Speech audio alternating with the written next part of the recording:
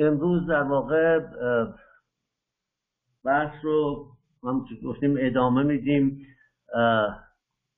از قسمت در واقع فصلی که در واقع همین مور جیومتریکو یا به سیاه و به روش هندسی که به بحث روش در واقع اختصاص داره. من خب قبلش باید بگم که خب در جریان به حال یه جور همین کلوز ریدینگ یا خانش نزدیک به حال این خانش نزدیک به معنی خواندن تک تک جملات نیست به معنی اینه که در جاهای آدم می‌تونه از متن فاصله بگیره ولی به هر حال همواره در اون قول و حوش متن باقی بمونه. گاهی اوقات هم خب یه انگیزه هایی یا مثال هایی صحبت هایی پیش میاد که از غذا برای روشنتر شدن آدم لازمه که از متن دور بشه و حالا مثال دیگه ای بزنه بحث دیگه ای مطرح کنه. و خب من در اینجا از آغازش بگم قصدم این نیستش که در واقع بین هگل یا اسپینوزا قضاوت کنم یا بخوام در واقع مثلا جواب مشوری رو بدم. خود مشوری هم در واقع حالا بجز بعضی جاها که میشه گفت یه جوری شاید ناخداگاه و از دستش در میره و خیلی سریح مثلا میگه اینجا هگل تحریف می‌کنه یا غلط می‌کنه اسپینوزا رو.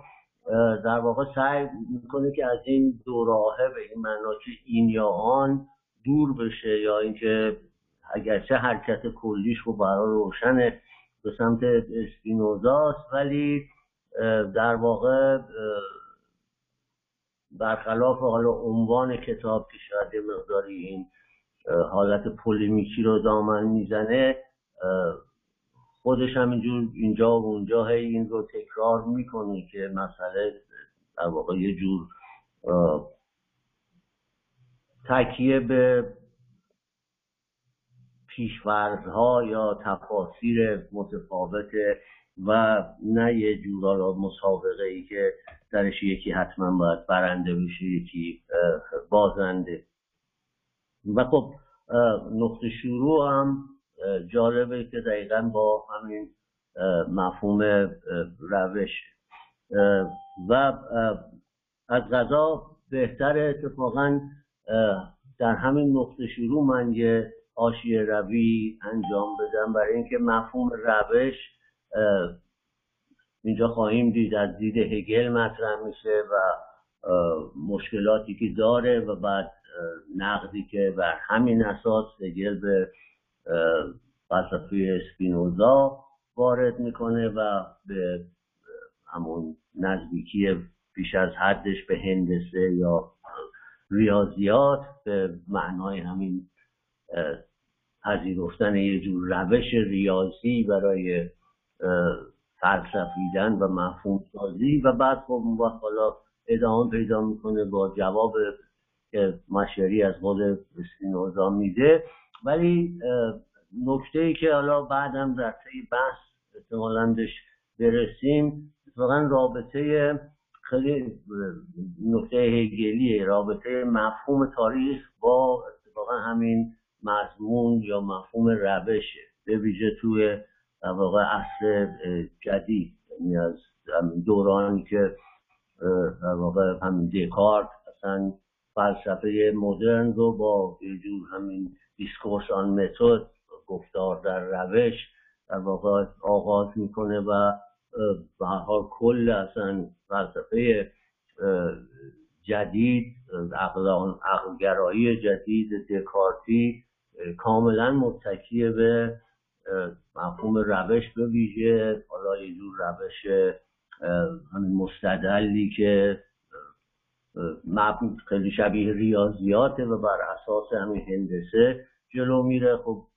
دکارت در این حال اصلا یکی از بنیانگذاران هندسه تحلیلیه و خب این چفت و بس خوردن فلسفه با علم و ریاضیات خب کاملا یه خودش یه امر تاریخیه. توی بحثم از غذا از دید هگل به این اشاره میشه. منتها اشاره خیلی گذرا و از یه نظر حتی میشه گفت کمی سطحی. رو همین حساب بعد نیست من در همین آغاز اتفاقا این رو بگم که مفهوم روش از, از, غذا یکی از مفاهیمیه که خیلی خوب این پیوند تاریخ با حقیقت رو که من این رو خودم یه جوری دستاورد اساسی تفکر هگلی می‌دونم رو خیلی خوب رو میاره و اگه بخوام اشاره کنم فرزن چون توی بحثایی که توی همین کتاب عقل افسرده مطرح شده تو همون مقاله اول در مورد وبر و نوکانتی ها من در واقع این مسئله همین روش یا پسروی و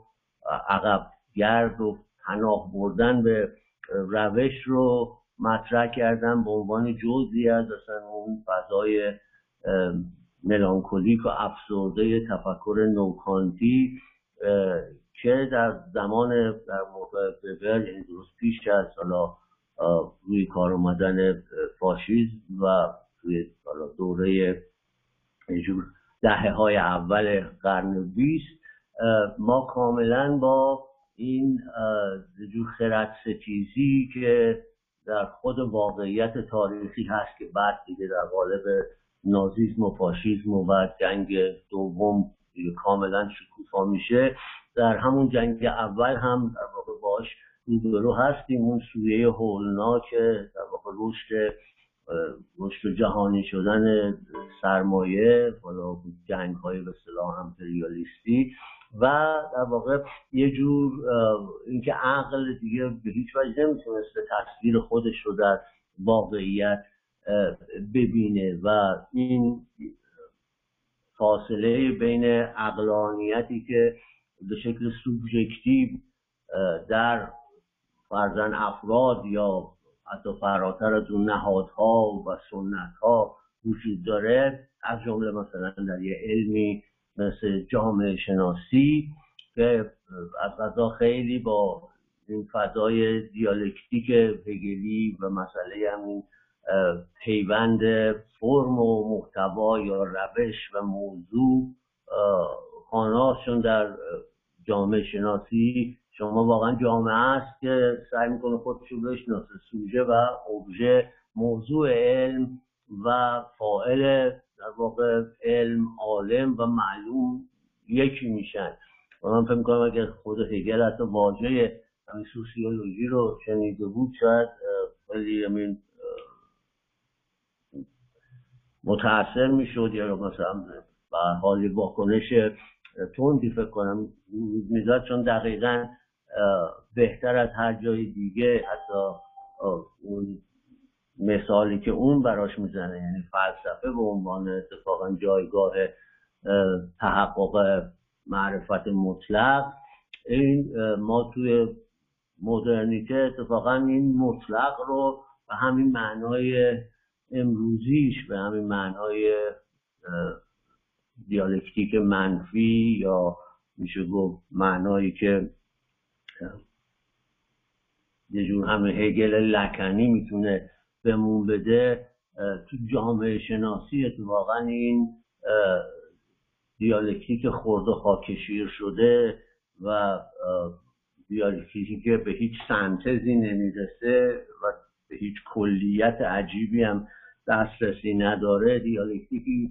در واقع کاملا با یه چهره غیر تگلی یا اون چهره که شکل رسمی تو دانشگاه هگل این تو جامعه شناسی اتفاقا خیلی بیشتر از فلسفه خودشو نشون میده. تمام اون پیچ و تاب ها و تضاد هایی که زیر اون سطح دروغین یه جور علم دانشگاهی به عنوان در واقع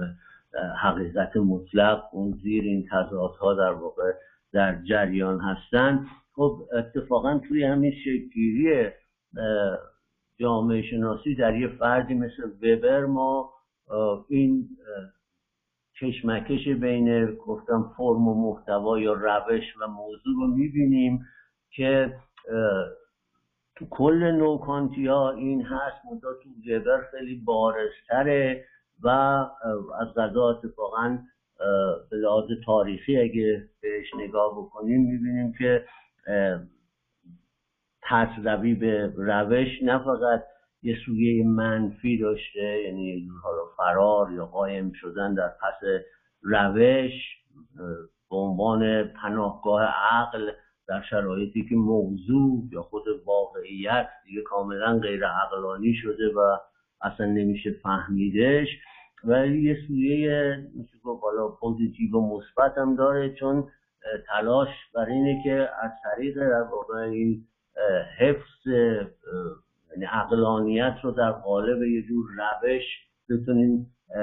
نگه داریم. اینجا جاییه که وبر همینجور مقاله هایی که می نویسه برای اینکه اصلا politics as vocation سیاست به مثابه رسالت یا علم به مثابه رسالت در واقع تلاشش همش اینه که از طریق مفهوم روش یه جوری این تناقضات عجیب و غریب واقعیت و علم و فلسفه رو بتونه به یه شکلی حفظ کنه که البته خب به واقعا اون چه می‌دونم فروپاشی روانیش نشون میده که تا چقدر این کار ناممکنه و به دنبال او در واقع مثلا یه فیگوری مثل لوکاچ اتفاقا با زیر فشار همین افسردگی وبری زیر فشار اتفاقا همون دیالکتیک پرتنش بین روش و تاریخ مجبور میشه به یه همین پرش کیرکگوری یه جور جهش از روی ایمان به درون در واقع مارکسیست از کل دعواهای نظری و دانشگاهی و اینا بریدن از کل بحث روش و اینا و در واقع دنبال کردن همون تز یازدهم مارکس. برای این اساس که اصلا از دل خود پرکسیس و فقط با همین سیاست عملی و سیاست مبارزه جویانه طبقاتی است که اصلا میشه حتی در سطح نظریه با این تناقضات و وجوه غیر عقلانی واقعیت جامعه بورژوایی مدرن روبرو شد. این به هر حال نکته است که من گفتم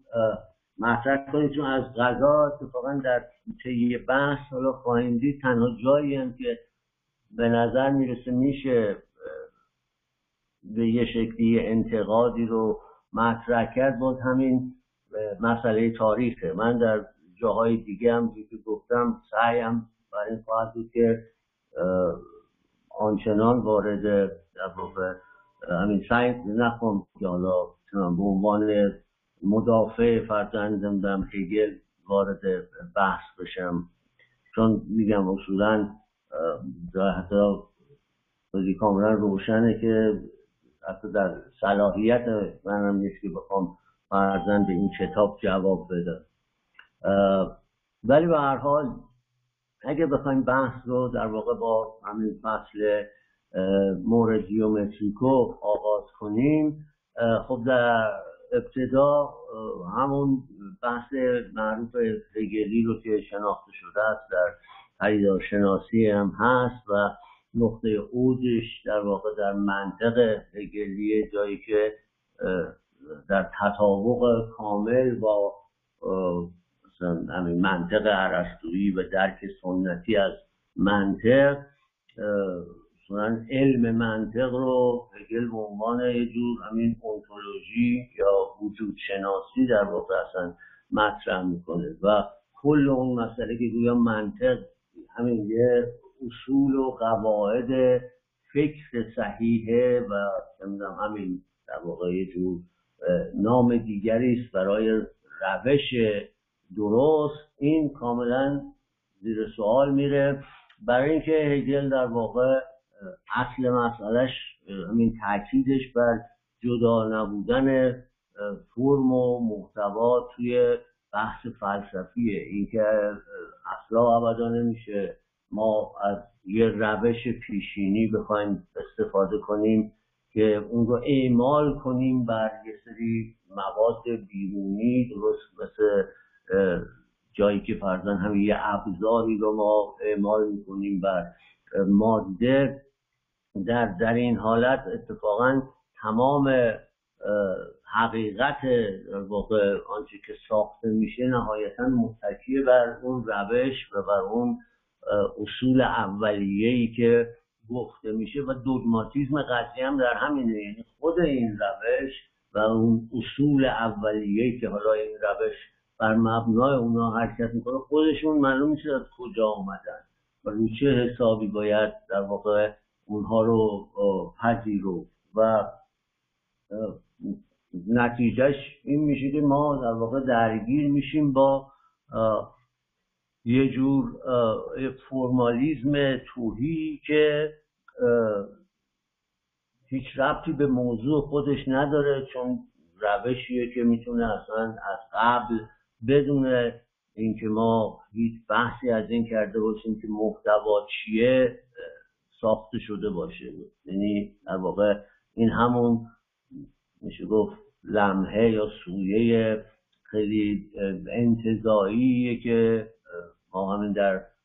دکارت و فلسفه دکارتی می‌بینیم این تاکید بر روش به عنوان اتفاقا آن چیزی که علمی بودن و حقیقی بودن رو تضمین می‌کنه. و خب هگل به شکلهای مختلف این رو میکوبه از زاویه در واقع اصولا همین تولید مفاهیم از زاویه اینکه اصلا پیوند بین مفاهیم از این نظر یه پیوند بیرونی خواهد بود و به هم چسبیدن مفاهیم اینجا خیلی مکانیکی خواهد شد. اینکه این نوع فرمالیزم نهایتا اتفاقا ما رو میرسونه به یه شکلی حتی از تجربه گرایی و به یه معنا درگیرمون می‌کنه با تجربه گرایی این نکته خیلی جالبیه که ما بفهمیم abstraction یا تجرید یا انتزاع به اون معنایی که ما حالا تو همین روش به ویژه روش صوری ریاضی که حالا دکارت و اینا هم دنبالش هستن چون حال اصلا این بحث روش و روشمند بودن چنانچه خواهیم دید اصلا از اول ما رو درگیر می‌کنه با ریاضیات ولی به هر حال بحث در ارتباط با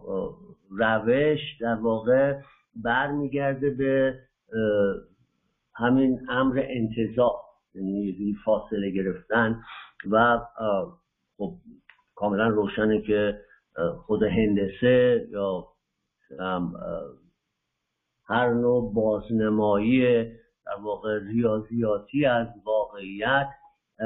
همین انتظاییه شما مجبورید خیلی از چیزا رو کنار بگذارید و همین نقشه چون یه ساختمون رو با خود ساختمون وقتی مقایسه کنید این کاملا معلوم میشه. ما مثلا نه رنگ داریم نه مساله نه حجم نه اصولا انبوهی از داده های حسی اینجا کنار میره. ولی نکته اساسی اینه که انتظار و اون فرمالیزمی که انتظار اتفاقا هم ابزارشه هم یه جور نتیجهشه. نهایتا برخلاف اون تصوری که تو ذهن ما هست به کلیت نمی‌رسه. یعنی ما هم فکر می‌کنیم خب انتظاری شدن یعنی رفتن بالاتر و یه جور اشیا رو از یه واقعیت رو از یک نقطه اوج بالاتری بهش نگاه کردن. و خب این یه کلیتی برای ما فراهم می‌کنه. برای حالی که اتفاقا انتظار اصلا توی لغتش هم هست یعنی جدایی یعنی کندن و یه چیزایی رو کنار گذاشتن و از غذا همواره اتفاقا انتظار می که به نظر میاد یه جور دید کلی به ما میگه ولی اصل اساسش اتفاقا استوار بر کندن و جدا ساختن و کنار گذاشتن یک سری ابعاده و بنابراین پارشیاله. و به همین اساس هم است که اتفاقا وقتی انتظاع میشه اصلا روح روش نهایتا خیلی از آن چیزی که واقع ما به عنوان موضوع یا مضمون یا همون محتوا بهش نگاه می‌کنیم بعدا به صورت خیلی تجربی به ما داده میشه. یعنی اتفاقا چون درگیری با موضوع و محتوا بیرونیه و سوریه درست همینجاست که تجربه اتفاقا بدون اینکه همین محک خورده باشه به عنوان یه واقعیت پیش رو میاد و خودشو به ما تحمیل می‌کنه. یعنی همین ما همه هم مقام خودمون رو داشتیم روی یک ابزاری به نام روش که قرار مثلا حقیقت رو تضمین کنه. و خب این به این معناست که آنچه که به این ابزار به عنوان خوراک داده میشه اون دیگه اصلا بحثی در موردش صورت نمی‌گیره. اینجاست که اتفاقا می‌بینیم همین فرمالیزم یا پوزیتیویزم چقدر اتفاقا همین غیر انتقادیه. بر این اساس که واقعیت موجود رو همین به عنوان ماده خام در واقع میپذیره. و خب البته همینجا ما هستش که ببینید مثلا تو علوم اجتماعی این قضیه کاملا روشن میشه که آنچه که به عنوان واقعیت خام به ما داره داده میشه تو خودش ساخته شده از خودش نتیجه یک فرایند خیلی پیچیده تاریخی و همین درگیری نیروهای اجتماعی و چیزی نیستش که به عنوان همین ماده خام به دستگاه سوری روش ما داده شده باشه. بر همین هم فرمالیزم و هم در واقع تجربه گرایی ساده دلانه نتیجه اتفاقا این پرستش روش هستند که در مقابلش هگل همواره اینو مطرح می‌کنه که متد یا روش خودش چیزی نیست شکل آگاهانه حرکت درونی در واقع فلسفه و مفاهیم. و از این رو اصلا هر چیزی به نام چیزی به نام اصلا گفتار در روش نمی‌تونیم داشته باشیم چون روش اصلا همین در حین واقع ساخته شدن خود مفاهیم و روابط درونیشون داده میشه. روش همین شکل آگاهانه پیوند بین این مفاهیم و مزامینه نه یک چیزی بیرونی. در واقع میگه همین هگل میگه متد در واقع همون ساختار کل که در واقع کل رو یا شکل اساسی و ذاتی کل رو برای ما خلاصه می‌کنه در خودش ارائه میده. و البته خب هگل کاملا در ادامه نقدش به روش بیرونی که عملا حالا چه می‌بینیم اسپینوزا به این نکته اشاره کرده و خیلی های دیگه هم که اصولا این نوع بیرونی بودن روش راه رو در رو بر روی در واقع اسکپتیسیزم یا شکگرایی باز می‌گذاره. به محض اینکه ما همه چیز رو یک روش پیشینی و اون اصول اولیش خلاصه کنیم گذشته از اینکه اصلا دچار یک همین بنیادگرایی جزمی میشیم چون قرار همه حقیقت بار کل حقیقت رو دوش در واقع اون بنیاد اون مبنا میفته و روشی که حالا اون مبنا رو گنده می‌کنه تبدیل می‌کنه به باقی چیزها. این دوگماتیزم حالا به کنار از دوگماتیزمی که از توی این روش می‌زنه بیرون خود مفهوم روش عملا معرفت انسانی رو ناممکن خواهد کرد. چرا که که شکگرایان بارها نشون دادن و خیلی راحت فهمید. به محض اینکه ما همین روش رو زامن حقیقت می‌کنیم بعد این سوال پیش میاد که خب خود حقیقت خود روش از کجا میاد؟ و عملا این دیدی که می‌خواد پیش های معرفت رو به یه شکلی مطرح کنه که بیرونی هم هستن نسبت معرفت یا باید به طور جزمی بگه که همینه که هست این بنیاد یه جور همین بنیاد الهیه یا مثلا برای درک یا به محض اینکه این رو کنار بذاریم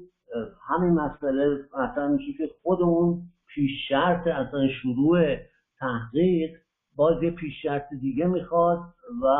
برای اینکه بفهمیم روش درست چیه باز یه روش دیگه ای باید یه روشی بسازیم برای اتفاقا اصلا کاربرد روش. و اینجا هم هست که واقعا این مفهوم مثلا توی کتاب حقیقت و روش گادامر هم این این جنبه خیلی بررسی میشه که چطوری اتفاقا این قضیه اجرا سوی اجرایی اصلا یه بچی از فهم بشری حالا در دل اون هرمنوتیک گادامری که اتفاقا به یه شکلایی همین نقد هگلی از روش رو تکرار می‌کنه. و خب این راه رو دقیقا گفتیم برای شکاکیت باز می‌گذاره و این نقدیه که به شکلهای مختلف به هر نوع به حال تلاشی که بخواد حقیقت رو از یه بنیادی بیرون از خودش نتیجه بگیره میشه گفت همیشه در پس هر نقطه شروع یا اون اصل اولیه یه چرا میشه گذاشت بگو خب چرا این اصل اینه چرا قبل از این چی بود پس؟ و این سوال گهگاه خیلی مثلا ساده و کودکانه کلی از این به اصطلاح عرفا و فیلسوفان و نمی‌دونم فقها و همه رو در واقع توی دست انداز و خب هگل در قدم بعدی در واقع تلاش داره که نشون بده چطوری این این دیده از روش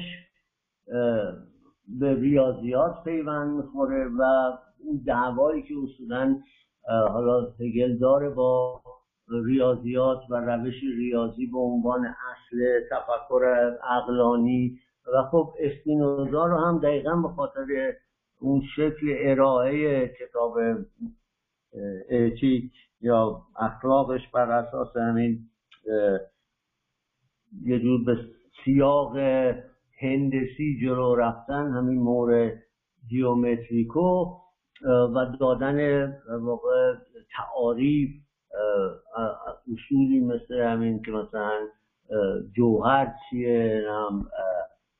صفات جوهر کدومن و و و این رو کاملا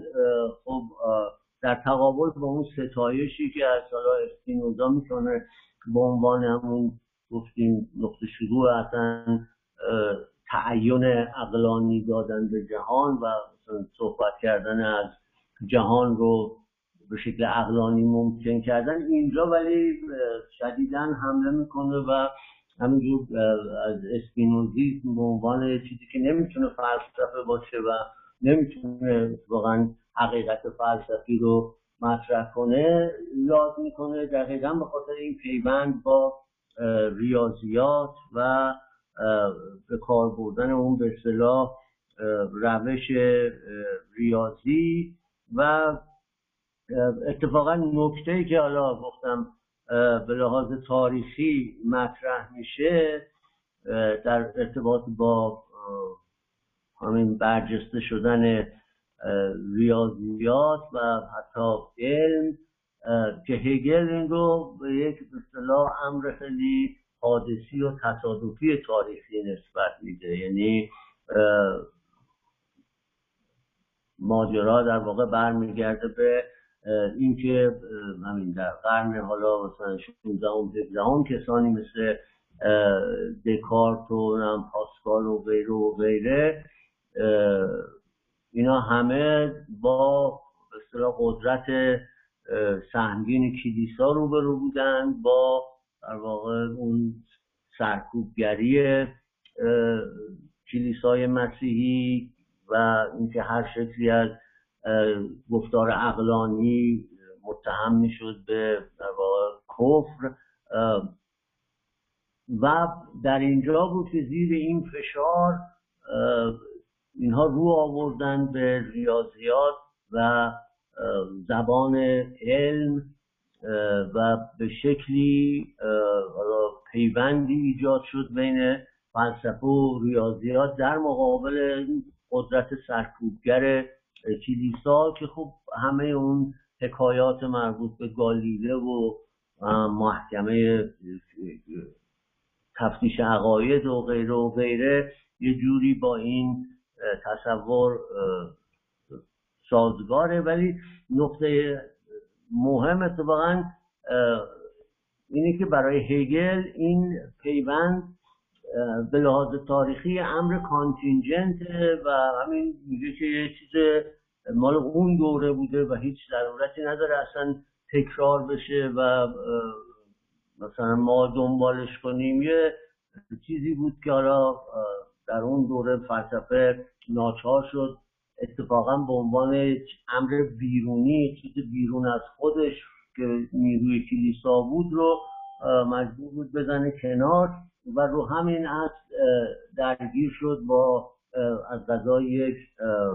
علمی مثل ریاضیات که از دید هگل اتفاقا علمی است که به امر متناهی و finite می‌پردازه برخلاف در واقع فلسفه که باید به infinite و نامتناهی بپردازه. و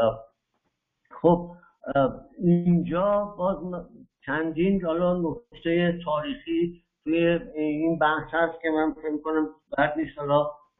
بخش اول رو با وجود اونا به یه شکلی به پایان برسونیم. اونم که اولا پیوند بین قضیه روش گنده شدن ریاضیات مثلا سوری شدن فلسفه و هر نوع اصلا گفتار اقلانی اون چیزی که ما اصلا توی تحت عنوان روشنگری می‌بینیم امری نیستش که حالا واقعا یه امر همین کانتینجنت تصادفی باشه. این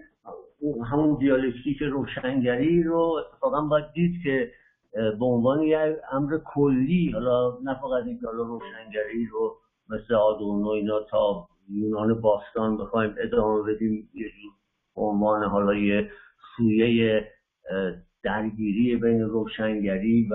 اسطوره یا بین علم و مثلا اسطوره. نه اینو من اتفاقا به عنوان همون دوره اساسی رونسانس و رفرماسیون همون قرون چهارده و 15 و گذار به اصل جدید اصلا حوادث دیگه کشف آمریکا دور زدن کلوی زمین تجارت اصلا بین المللی ایجاد بشه و اون چیزی که اصلا ما جهانی شدن جهان میشه اسمشو بذاریم و سرآغاز اصلا سرمایداری و عصر جدیده و به یه شکلی همین سیادت حالا اروپا رو بر جهان ایجاد می‌کنه. اون کلیت اون دوران اتفاقا این وحدت بین ریاضیات و حقیقت و نقش بنیانی روش رو میطلبه. یعنی ما می‌بینیم که مسئله اصلا از قبل از وصل به چه می‌دونم در کل این دوره رونسانس و بعدش ما اصلا شاهد همین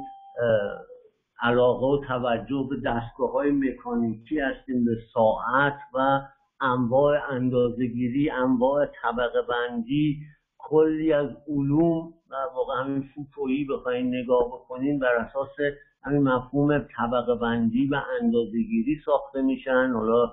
جانور شناسی و گیاه شناسی بگیر تا زمین شناسی و شیمی و علم مواد و غیره و غیره و اصلا این رشد علمی عصر رونسانس و همینجور اصلا گره خوردن اون با معماری و هنر و, فلسفه باید به صورت یک کل نگاه کرد و مجموعه شد اتفاقا به عنوان همین یه جور روشنگری به همون معنای عام اصلا اسطوره زدایی که دوباره اسطوره‌ای میشه. اصلا کل اون کنکاشی که ما رد پاشو در همه جا می‌بینیم از چه می‌دونم تصاویر خیلی مکانیکی مارکی دوساد از رابطه و تجربه جنسی که خیلی مثل عروسک های کوکی همین ساعت های کوکی اون موقع هست تا در واقع این گفتم علاقه مندی به انواع مکانیزم ها و دستگاه های مکانیکی که بعد این خودش نقطه شروع در واقع حرکت به سمت یه جور انقلاب صنعتی رو فراهم می‌کنه و این نوع اصولا سازماندهی و اندازگیری و شمارش و اینا رو باز می‌بینیم. اصلا توی شکلگیری دولت مطلقه تو همین قرن 16 چقدر موثره و و اینکه اصولا اون جهان جدیدی که ما ازش حرف می‌زنیم گذر به یه جور سرمایداری صنعتی رو. اصلا همین دولت مطلقه در فرانسه و انگلیس و اتریش و اسپانیا ایجاد می‌کنه و بعد اینو به همه دنیا سرایت میده. اصلا این, این حالت اینکه گویا یک نیروی سوژه هست که اتفاقا جهان رو بر اساس یک اصولی داره شکل میبخشه متا این سوژه اتفاقا نه فیلسوفه نه حالا مفهوم حالا سوژه در فلسفه هگل بلکه شاید همین نماد عینیش بیش از هر چیز همین دولت مطلقه است یا ترکیبی از دولت مطلقه و هم بورژوازی تازه ایجاد شده و هم بخشهایی از اشرافیت که حالا به شکلهای گوناگون با هم دیگه پیوند خوردن یا با هم در تضادن. و مثلا تضاد تو انقلاب فرانسه مثلا به یه شکلی حل میشه ما با یک فرایند خیلی پیچیده ای طرف هستیم که طی اون اتفاقا این عشق به مکانیک و این اصولا همین تصوری که گویا نیرویی هست که واقعیت بیرونی رو کنترل می‌کنه و این خب نقطه شروع اصلا. این قدرت تکنولوژیک. بعدا خب خودش رو در هیئت قدرت اجتماعی واقع نیروهایی مثل همین دولت ها یا دولت هایی که بعد جهان رو در واقع استعمار می‌کنن کشتی می‌سازن میرن کشف می‌کنن همه جا رو می‌گیرن و اون جاهایی رو که می‌گیرن اندازه گیری می‌کنن نقشش رو می‌کشن. و بله صاحبش هم میشن غارتش هم می‌کنن ولی همه اینا در اتفاقا چارچوب همین یه جور کشف علمی جهان یه جور کاربرد همین روش های طبقه بندی و اندازه گیریه که چون در دانشگاه های به ارث رسیده از کلیسا در همین قرن 15 و 16 اصولش تدوین شده اینا رو هم بهتر از هر چیزی توی کتاب های فوکو میشه پیدا کرد. این چهره های عجیب و غریبی که مثلا چه می‌دونم جانور شناسی یا نمی‌دونم بیولوژی یا فلان و فلان رو اصلا اختراع کردن یا کشف کردن و ساختن تو اون کتاب های عجیب و غریبشون و توی ارقام و اطلاعات و داده هایی که ثبت کردن یا رفتن این بر جهان چه می‌دونم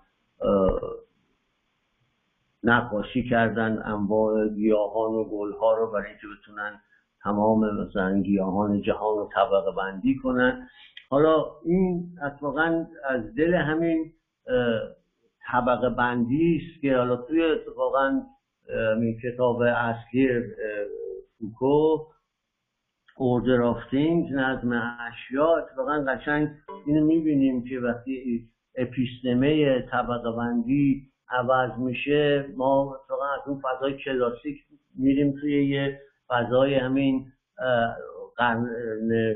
15 16 که همین وصل اتفاقا به رونسانس و به همین طبقه بندی و اندازه گیری و بعد اتفاقا با گذر از این اپیستمه است که توی در واقع قرن قرون 18 و 19 می‌رسیم به مفهوم روش به عنوان اصل اساسی علم و بعد البته قدرتی که علم میاره و گره خوردن علم به سرمایه‌داری به تکنولوژی و و همون بحثای نقش دولت و جامعه. ولی مسئله اتفاقا این که خود روش میشه گفت وارث این شکلای اپیستمی که اولیه است که همین گره خوردن به اندازگیری و طبقه بندی و و بعد البته رپرزنتیشن بازنمایی که خیلی مهمه تو همین قرن 18 و اینا. بعد نهایتا اینها همشون تبدیل میشن به اون مفهوم روش. بنابراین رابطه بین حالا روش ریاضیات و تاریخ رو نباید بر اساس این اشاره حالا گفتم مقداری سطحی هگل نگاه کردیم خیلی پیچیده تره و اتفاقا نقد همین هگلی و روش ریاضی رو هم تایید می‌کنه. من فکر می‌کنم حالا الان بتونیم یه در واقع آنتراکتی بدیم تا بعد بتونیم ادامه بدیم بحث رو در مورد حالا دقیقا شکل گره خوردن ریاضیات با روش به ویژه از دید هگل و در واقع حالا یه جور نقد اون به اثبات ریاضی و بعد برسیم در واقع به جایی که حالا یه جور مشری برمیگردونه پدیده رو و بحث خود اسپینوزا رو مطرح. خب قسمت اول با همین بحث ریاضیات و روش به پایان رسید و خب در ادامهش هگل اصولا استدلال ریاضی رو نقد می‌کنه به عنوان یه امر که اتفاقا چون فرم و محتوا تو ریاضی از هم سوان هر دوتا درگیر اتفاقا امر متناهی میشن و نمی‌تونن در واقع از امر متناهی فراتر برن. و در واقع همینجاست که اون مفهوم abstraction رو نقد می‌کنه هگل و میاره که چگونه هم فرمالیزم و هم empiricism اینجا دست به دست هم در واقع جلو میرن. و اینکه ما در استدلال ریاضی با یه مجموعه ای از قدم های جدا از هم و عنصرهای سوا از همی روبرو هستیم که به سادگی به هم اضافه میشن بر اساس همین منطق پس از این آن میآید. بدون اینکه بین این عناصر هیچ بدبستانی در کار باشه. یا بدون اینکه هیچ ضرورتی این تکه های استدلال رو در واقع به هم دیگه پیوند بده و رو همین اصلا هستش که اتفاقا ریاضیات از دید هگل ظاهرا فقط یه جور معرفت عینی تولید می‌کنه و این ادعاش به تولید معرفت عینی در واقع به شکست می انجامه و پشت همین رو هم ما یه جور این پیشتاوری تکنولوژیک رو می‌بینیم که این توهم سوژه آزاد رو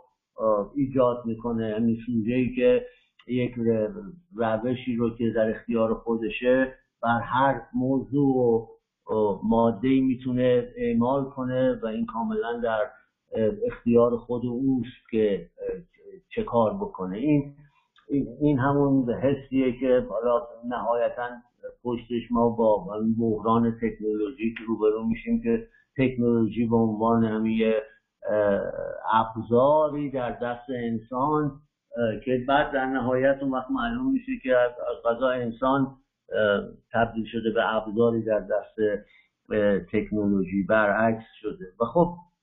ولی نکته مهم حالا اینجا ما وارد بحثای جامعه شناسی حالا تاریخ اونجوری نخواهیم بشیم. به لحاظ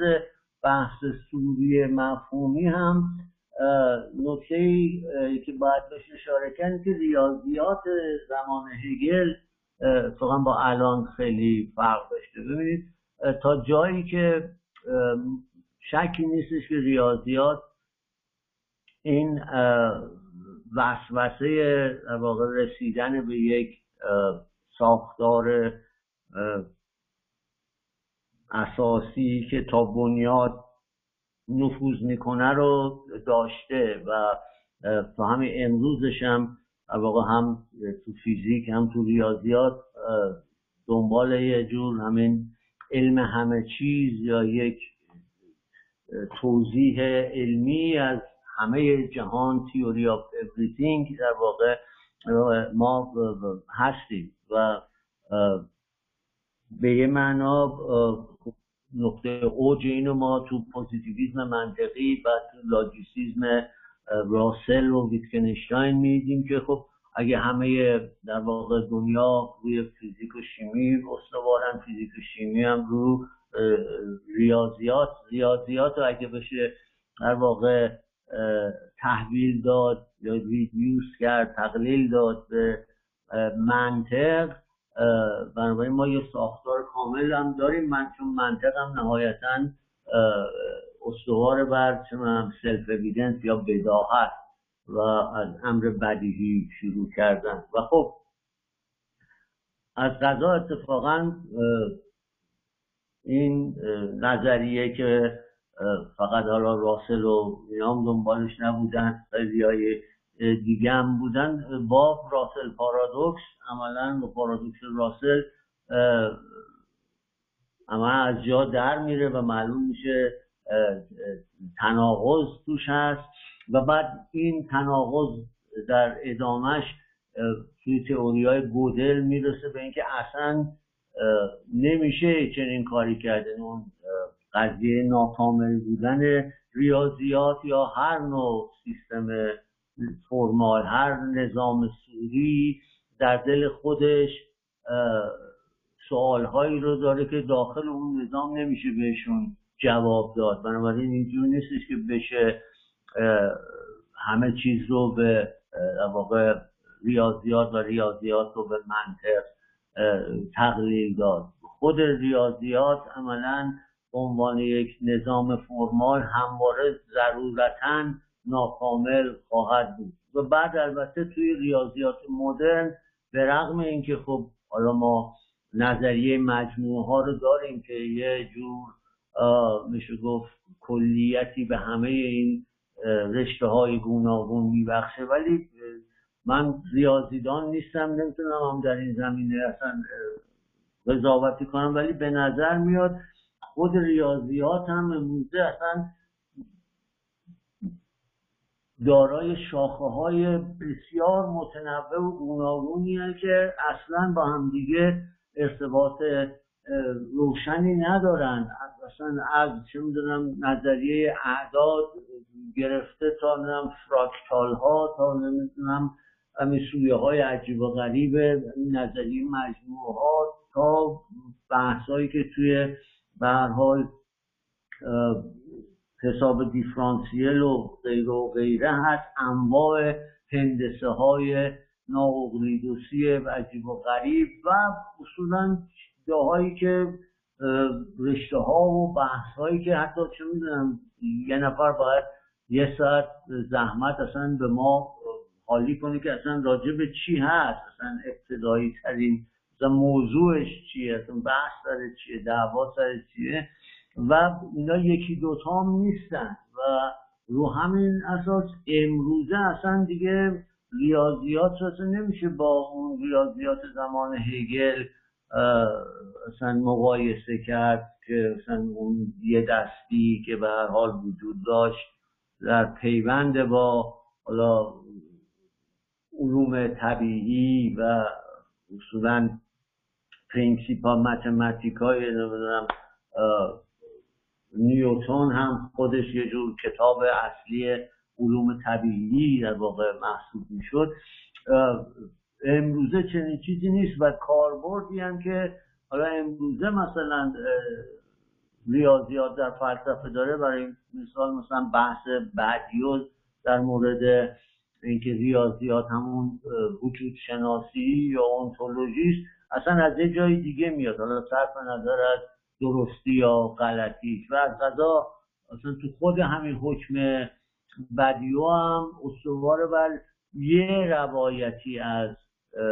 نظریه مجموعه ها و اون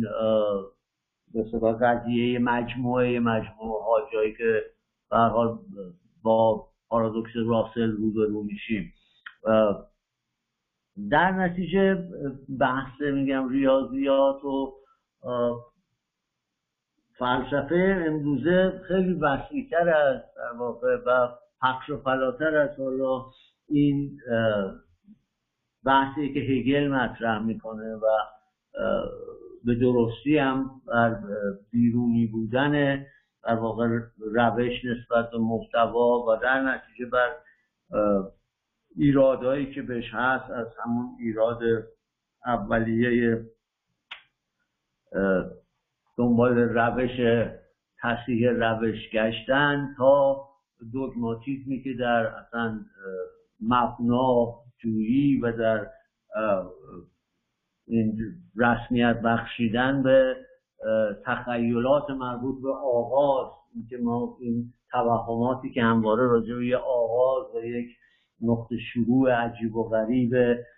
ماورای اصلا درک هست که بعد اون به عنوان یک دوگم میاد و اصلا دیگه جایی برای اقلانیت باقی نمی‌ذاره همه اینا در واقع توی بحث هگل وجود داره و قابل قبول هم هست. و خب البته مشری هم در واقع همین نکته رو مطرح می‌کنه و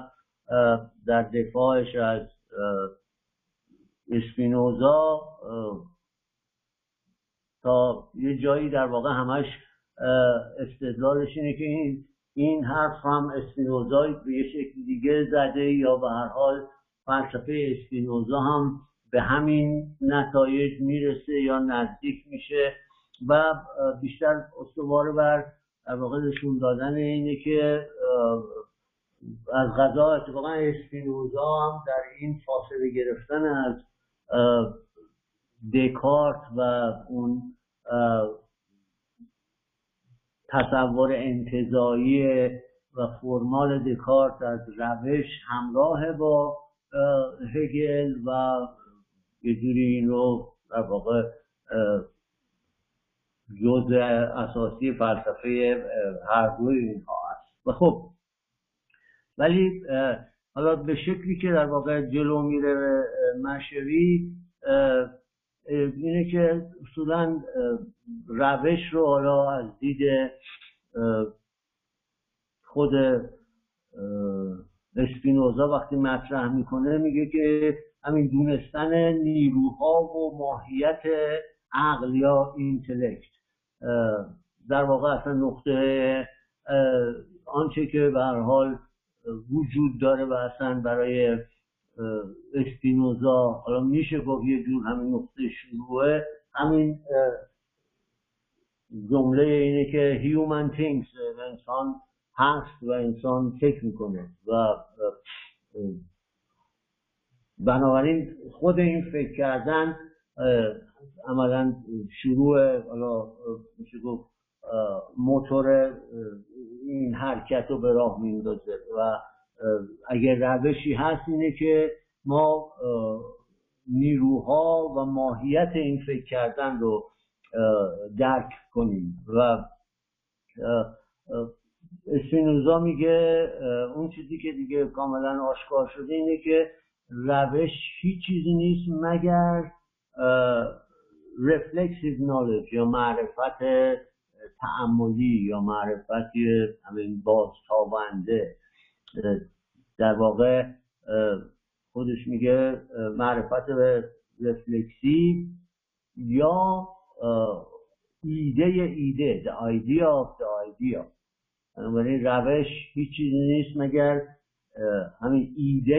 ایده. همین این ایده که ایده چیست در ذهن انسان؟ همین نیرو و ماهیت اینتلکت چیست؟ و اینتلکت یا عقل هم با ایده ها کار می‌کنه. پس ایده ایده. و میگه از اونجا که اگر هیچ ایده ای همون در وهله اول وجود نداشته باشه پس ایده ایده ای هم در کار نخواهد بود. پس ما چنین نتیجه می‌گیریم که هیچ روشی وجود نخواهد داشت. اگر یک ایده اول کار وجود نداشت. و بنابراین این ماجرا از همینجا ما می‌بینیم که قضیه معکوس میشه. یعنی توی دکارت و کل حالا اون عقلگرایی مدرن و سوری در واقع به نظر می‌رسه که اول روش روش و اون اصول اولیه هستن که اصلا همه چی رو تعیین می‌کنن یه جور داورن. اون حالت در واقع تعیین کننده داوری کننده رو هم دارن که باز به قول هگل باید اتفاقا موقعی که زیر پای روش زده میشه زیر پای این ادعای داوری هم زده بشه. و اسپینوزا خیلی شاید بهتر از هگل این دعوی مثل همین داوری کننده این دعوی فقهی رو به اینکه مثلا تضمین حقیقت در دست یک کاستیه یه گروهیه حالا به عنوان عالم یا ریاضیجان اینو مطرح می‌کنه. و خب می‌بینیم که توی دکارت اول روش میاد بعد حالا ایده هایی که قرار این روش دستشون رو بگیره پا به پا ببره و تعدیبشون کنه هر جا که از مسیر درست دور بشن برای اینکه به اون حقیقت مطلق برسه و کل حالا مدیتیشن های تحملات دکارتی عملا همینه. اینکه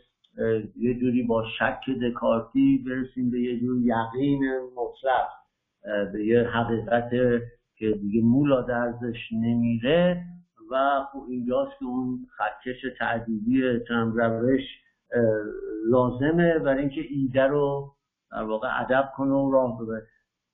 اسپینوزا با گفتن اینکه اصلا اول باید یه ایده ای اصلا باشه تا بخواد روشی باشه کل این دم و دستگاه رو به هم می‌زنه. و بنابراین میشه که روش نیستش که مقدمه بر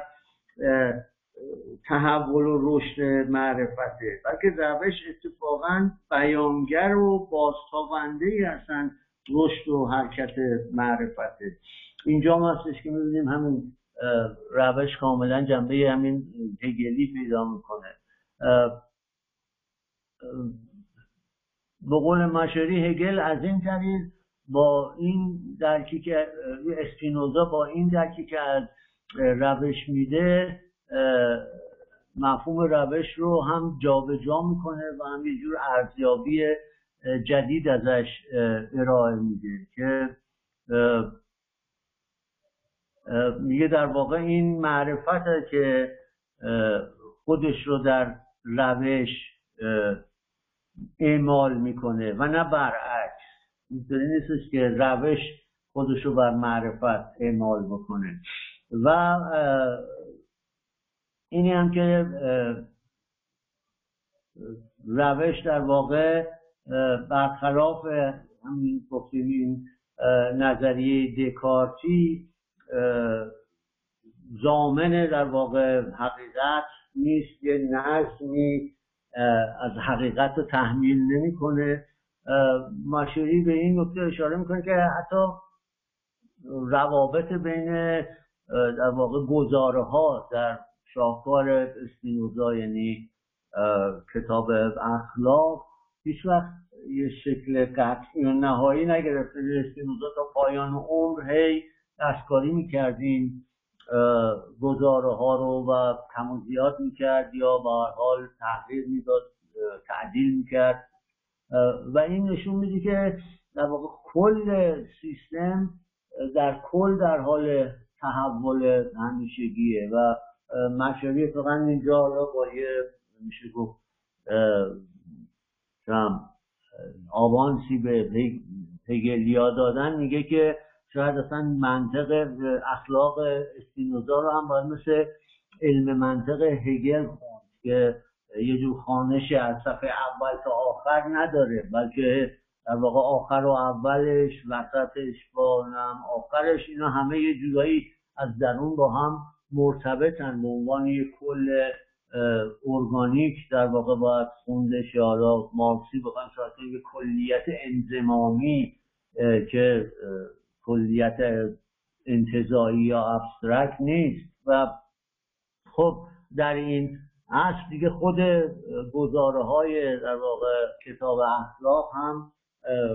همین می‌تونن عوض بشن و ما اونا رو به صورت همین یه روش از پیش تعیین شده با یه اول و آخر معینی نخونیم. بلکه روش رو همین بیان حرکت واقعی تفکر بدونیم چیزی که مشوری ازش یاد می‌کنه. و عملا خب این این نگاه درونی به روش کاملا نشون دهنده اینه که اسپینوزا و هگل به یه شکلی به هم نزدیک میشن و اون ایده ایده ای که اسپینوزا مطرح می‌کنه با درکی که هگل داره از رابطه بین کتگوری ها و مفاهیم در کلیت فلسفه شباهت داره و پیوند داره. و خب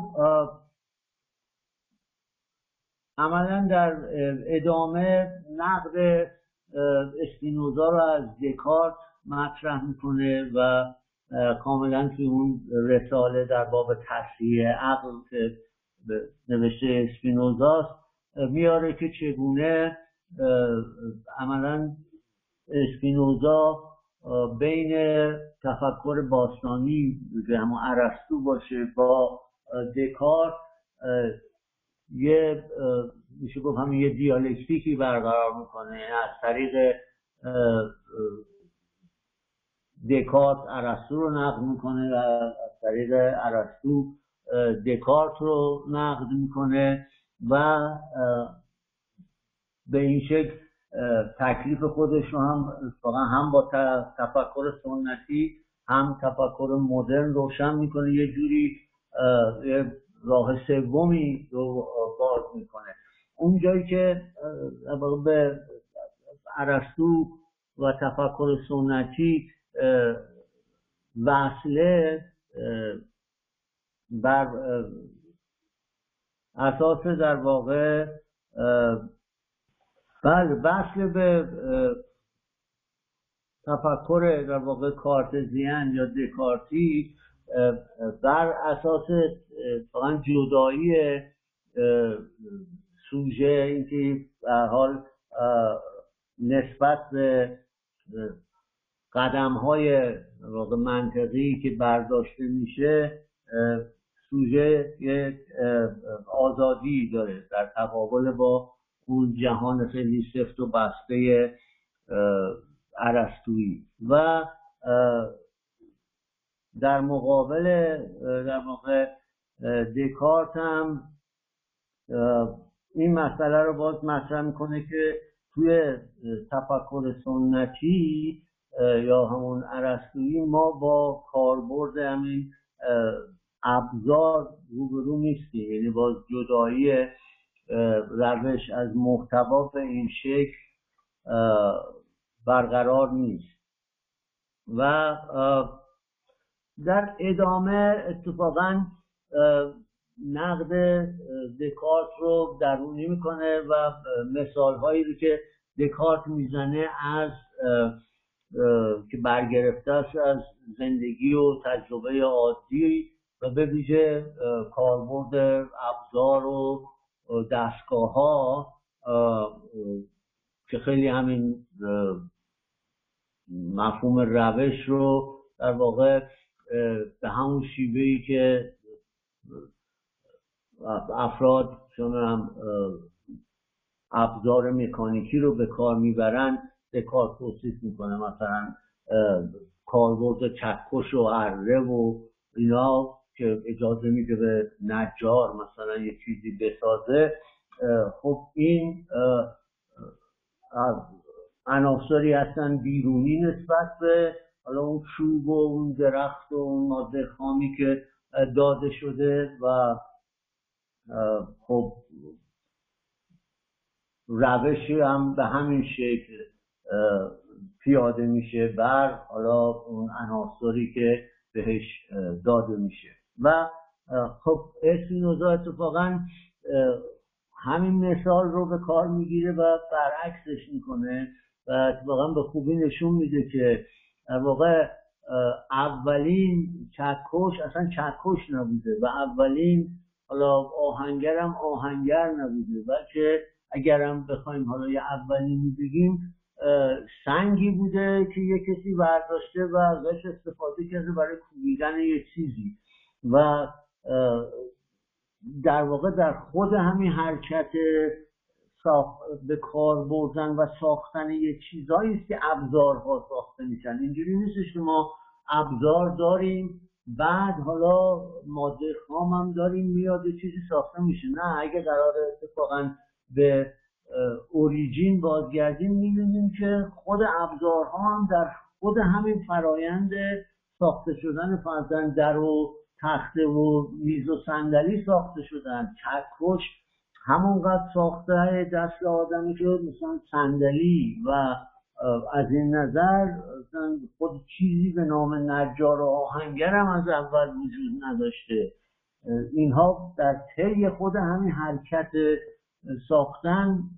ایجاد شدن. و از غذا اتفاقا مفهوم روش هم به همین شکل در اسپینوزا. یعنی چیزی نیست جز عمل کرده خود ایده ها ایده هایی که علت ایده های دیگن و قدرت و نیروشون اینه که ایده های دیگه ای تولید می‌کنن و رابطه در واقع حالا اون چیزی که اصل است اون علیت رابطه علی بین این ایده ها همون رابطه علی بین اشیاء واقعیه. این حالا نکته که بعدا حالا بهش خواهیم رسید که از مهمترین به حال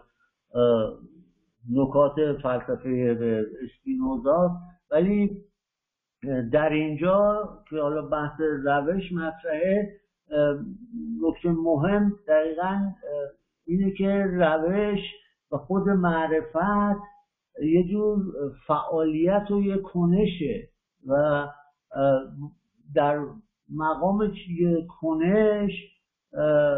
اصولا نقطه آغاز عجیبی نداره و عملا اونجور که میگه خود عقل هم باید نخست ایده هایی رو که داشته میساخته و این ایده ها هم در خدمت در حال یه همین معرفت راستین بودن. برای اینکه بتونن اتفاقا همه معلول های که درشون به صورت بالقوه نهفته بود رو تولید کنن و از این طریق اتفاقا به تدریج فعالیت خودشون رو هم پالوده کنن و اینجاست که همین حالت رفلکسی نشون داده میشه. یعنی همین آیدیا آیدیا و اینکه عملا اینجا به عنوان یک کنشی ما باش طرف هستیم که روش چیزی نیست جز در واقع بیان شکل در واقع بیان یافته رابطه درونی بین همین ایده ها اون اسنسی که در خود این ایده ها هست پیوندش در واقع در قالب متد می‌زنه بیرون و کل ماجرا همونجوری گفتم استوار بر همین عبارت من فیلم انسان فکر می‌کنه. این این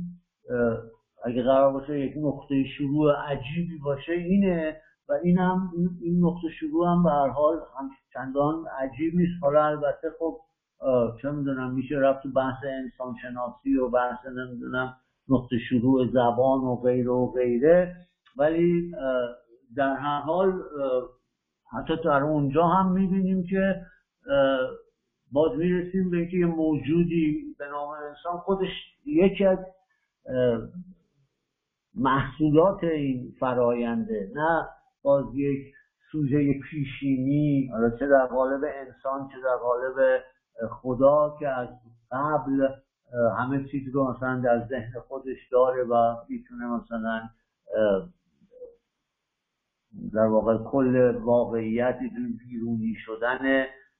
اصول اولیه‌ای که توی این نقطه شروع پیشینی هست حالا چه خدا چه انسان. برای همینم در واقع برخلاف دکارت که همین ایده های فطری داره چیزی که برای اسپینوزا باید با شروع کرد اصلا ایده های فطری نیستن. بلکه حقایقی هستن که میشه در خود همین کنش انسان بودن پیداشون کرد و عملا یک نظم ضروری بین اینا هست که همون نظم که علی و از اینجاست که در واقع بحث رو ادامه میده مشری با اینکه چگونه ما در واقع یه جور سویه فعال و خلاق رو داریم. این برجسته شدن کنش و برجسته شدن تولید حقیقت اینکه برخلاف در واقع فلسفه های حتی سنتی که میگه مثلا هر چیزی علتی داره و هی به عقب میره حرف اساسی اسپینوزا اینه که هر علتی نتایج و معلول هایی داره. و بنابراین یه جوری معطوف به جلوه معطوف به فرایند تولید این نتایج و معلول هاست. و این فرایند خلاقیت اتفاقا اون سویه میشه گفت خیلی پرشور اسپینوزاست که ما اینو توی مارکسیست های اسپینوزایی خوب ببینیم. حتی تو خود مارکس خوب ببینیم. اون ستایش شعفنگیزی که از قدرت تولیدی سرمایداری می‌کنه و اصولا نفرتی که داره از جامعه بسته سنتی که درش هیچ تغییری نیست از همون زندگی ساده به صلاح دهقانی و برخلاف اون واقعا این ماجراجویی تکنولوژیک ماجراجویی کشف افقها و قاره های جدید و همینجور هی جلو رفتن و تغییر ایجاد کردن و این این ستایش از تغییر رو اصولا ما در کل مدرنیته می‌بینیم. مثلا حالا اون کتاب تجربه مدرنیته هم نگاه کنید همش در واقع این حالت شور و شعفه که در قدرت انسانی و جامعه انسانی هست برای اینکه تغییر بده هم جهان بیرون رو هم خودشو. و البته خب حالا مسئله سویه منفی این تجربه مدرنیته است که حالا توی ادبیات تو شعر بودلر تو هم کافکا اینا بیرون می‌زنه که حالا اون نکته است که بعدا در واقع باید بپردازیم. ولی نکته اصلی اتفاقا اینه که میگم این مارکس جوان خصوصا با مارکسی که نظریه از خود بیگانگی رو مطرح می‌کنه و این طبقه کارگرش رو به عنوان خلاقان جهان به عنوان کسایی که هم خودشون رو می‌سازن هم روابط اجتماعی رو می‌سازن هم محصولات رو می‌سازن هم اصلا فرایند تولید رو می‌سازن به عنوان میشه گفت اتفاقا همون روش اصلی اصلا ساخت و بازساخت یا تولید و باز تولید جهان تولید و باز تولید جامعه و همه روابط اجتماعی که خب اون از خود بیگانگی اتفاقا این نیروهای خلاقی که بالقوه در دست کارگران هست و محدود می‌کنه اونا رو تابع منطق سرمایه و منفعت می‌کنه در حالی که ما همین با یه ستایشی از تکنولوژی و قدرت باروری و همین سمردهی جامعه آزاد روبرو هستیم. جایی که آزادی هر فرد شرط آزادی جامعه است و بالعکس و خب به حال اون تصوری از جامعه کمونیستی که به نحوی درخشان در مانیفست کمونیست مطرح شده. ولی خب این و این تصویر واقعا ریشش رو میشه گفت در اسپینوزا میشه یافت و در در واقع همون ستایش اسپینوزا از خلاقیت از آفرینش از نیروهایی که تولید می‌کنند از عللی که معلول ایجاد می‌کنند و کل فرایند اصلا واقعیت و معرفت چیزی نیست جز همین شکلی از این کنش خلاق تولیدی و عملا ماشری میگه که هگل یه مقداری نامردی می‌کنه. واقعا این سویه خلاقانه فلسفه اسپینوزا رو ندید می‌گیره و از این رو همین اسپینوزا رو یه جوری در کنار مثلا کارتزیانیزم قرار دادن بدون دیدن در واقع این سویه ای که تاکیدش اتفاقا بر خلاقیته یه جور به حال اسپینوزا سزاوارش نیست. و در ادامه این نکته رو مطرح می‌کنه مشوری که اگه مثلا تز اسپینوزا در واقع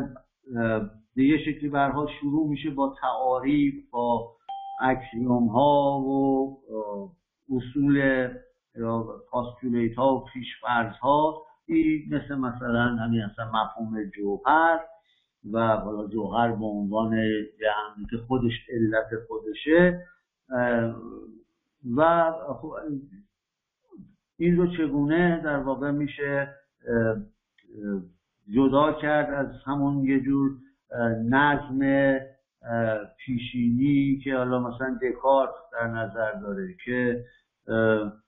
آیا اینها یه جور منشأ حقیقت نیستن که از دل اینها همه چی در واقع باید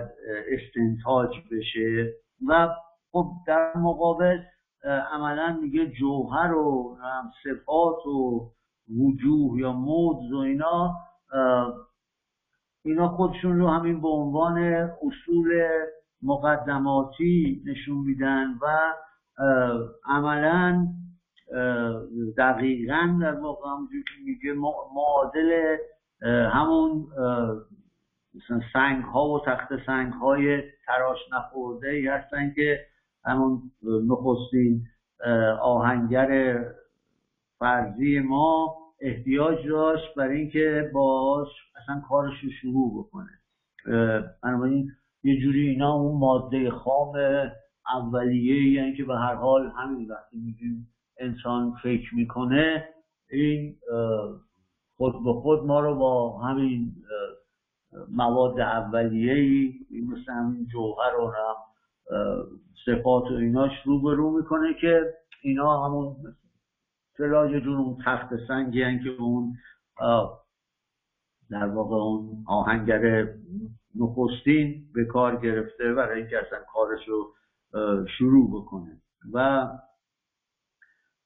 میگه اینها مقولاتی هستن که هنوز abstract و هنوز کلماتی abstract و simple کلماتی بسیط و انتزاعی هن ایده هایی طبیعی هن که هیچ معنا و مفهوم واقعی هنوز نه پیدا نکردن. به جز اینکه در این لحظه به عنوان در واقع اثبات معنول های واقعی که خودشون تولید کردن ظاهر میشن. و از این رو حتی خود مثلا مفهوم کوز یا علت رو هم می‌بینیم که همون مفهومی رو که در مورد رابطه علت و معلولی فیزیکی یا هر شکل دیگه از علیت پیدا می‌کنه دقیقا همین رو در مورد مفهوم جوهر به کار می‌گیره و در واقع مفهوم جوهر رو هم با همین شکل حتی عنوان چیزی که خودش علت خودشه باز اینجا این علت یه چیز مرخود علتی یه چیز مرموز نمیشه بلکه همون رابطه ای که بین اشیاء واقعی و بین ایده ها هست رابطه ضرورتا علی این رو در دل در واقع مفهوم جوهر می‌گیریم. یعنی اینجا مشوری سعی می‌کنه همین نشون بده که جوهر و صفات و ایناش هم از آسمون شاید نمیاد و اسپینوزا سعی نمی‌کنه اینا رو نمی‌دونم به عنوان حقایق مطلق حالا دینی یا غیر دینی به خورد ما بده و به یه شکلی در واقع اینا رو به عنوان همون ماده اولیه‌ای که دیگه دم دست ما هست موقعی که اصلا فکر کنیم که خب چیزی هست به نام عقل و ایده به این شکل معرفی می‌کنیم. و البته در پایان این بخش میره به سمت اون نکته ای که حالا من فکر می‌کنم در واقع بذاریم اینو برای جلسه بعدی و اینکه یه نکته خیلی اساسی و مهمه و از معدود جاهایی هم هستش که و من خودم مشتاقم که به حال دخالتی یا نقدی رو مطرح کنم. چون در این قسمت در پایان در واقع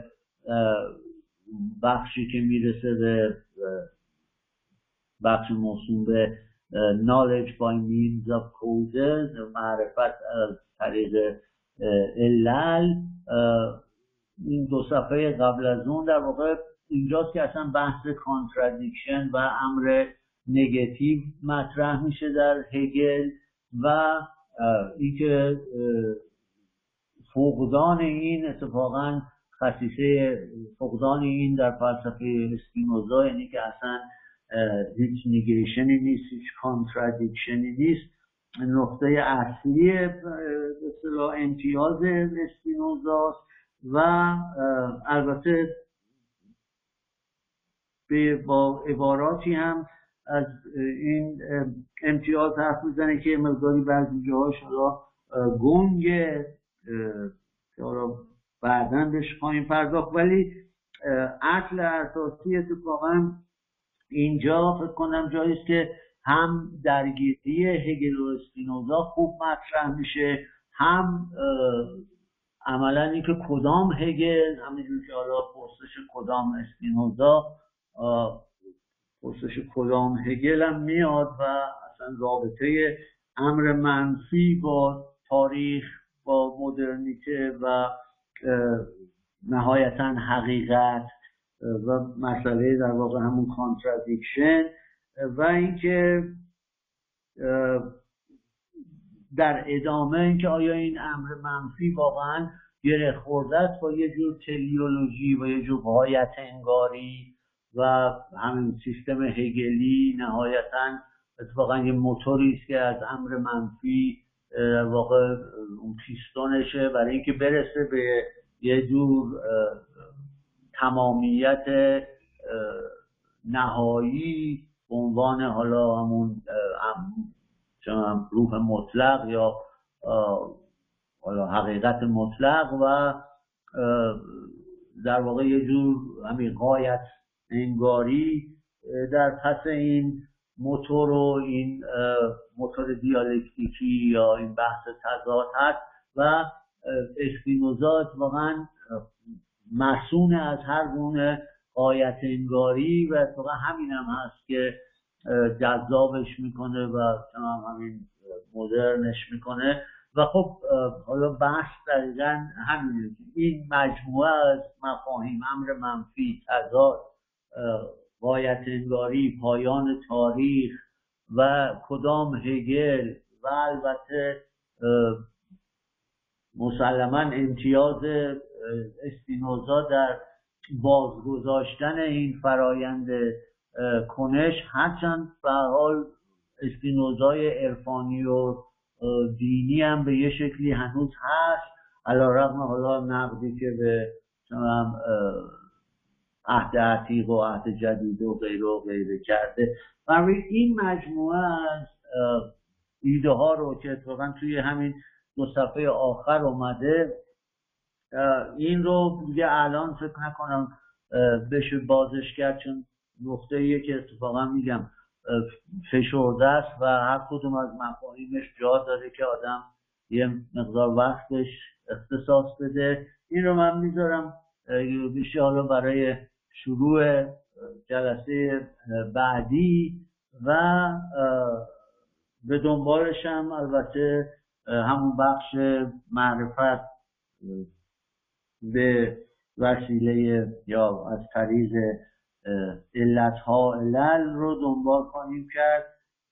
تا به حال اصلا این فصل مورو تموم بشه و شاید حالا توی جلسه بعدی واقعا بتونیم همون فصل سوم The Problem of Attributes رو هم واقع شروع کنیم و عملا همین کلوز ریدینگمون رو از این کتاب ادامه بدیم چون همونجور که گفتم به حال مسئله اصلا همین انتخاب بین هگل و اسپینوزا نیست. اصلا منم در حدی نیستم بخوام یه همچین بحثی رو مطرح کنم. مسئله واقعا اینه که دو تا از به حال اساسی ترین فیلسوف های تاریخ رو ما از طریق این کتاب باشون درگیر میشیم و خب این خودش یه ذوق دوگانه ایجاد می‌کنه که حالا همونایی که هم به حال اون خلاقیت اسپینوزایی براشون خیلی مهمه به این بحث علاقه بند بشن همونهایی که به هر حال امر منفی و پیچیدگی ها و ترک ها و شکاف های سوژه یا واقعیت مدرن رو دنبال می‌کنن حالا در ادبیات در سیاست. اونا هم به حال از زاویه سنت هگلی و حالا فرزن نظریه انتقادی به این بحث بیان و البته هر دو هم حال در فضای سیاست انتقادی و رهایی بخش امروز جای خودشونو دارن و ارزش خودشون. خب من اینجا دیگه در واقع بحث این جلسه رو هم تموم می‌کنم. و اگر لازم باشه جلسه جلسه بعدی هم گفتم با قسمت پایانی این فصل شروع خواهم